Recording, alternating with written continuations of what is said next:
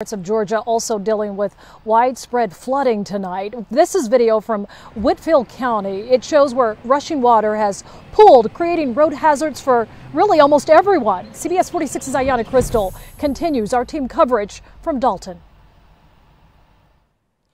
Sean, I spoke with Public Works and they told me they got more than six inches of rain in 11 hours, causing major flooding here in Dalton. Crews have been busy all day with property damage, trees downed, and even landslides. Now, there are still streets closed, including Underwood Street here, and it's all because this creek got so high that the water spilled over into the road, flooding all of the cars up and down this street. Now, Dalton Public Works said this is the worst rain they've seen in at least 10 years. Mill Creek reached a level at almost 15 feet, which is four feet above the flood stage, causing flooding early morning in Dalton. Crews had to rescue people as they were attempting to drive through the floodwaters on Willowdale Road.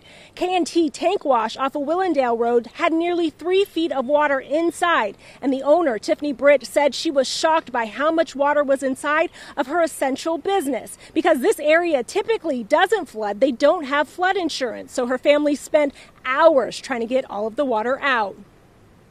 It's like this feeling of sickness that comes over you that um, Mother Nature has just thrown up in your building.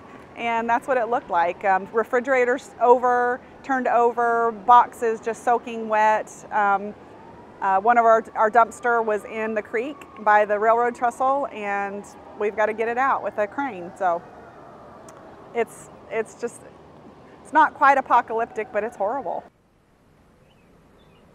Horrible indeed. Now, Dalton Fire told me that they had to rescue at least eight people from their cars from going into those floodwaters. And we have seen people driving up and down this road, even though the road is closed. So, if you see roads are closed with those barricades up, don't even test it and drive through. We're live in Dalton. Ayanna Crystal, CBS 46 News.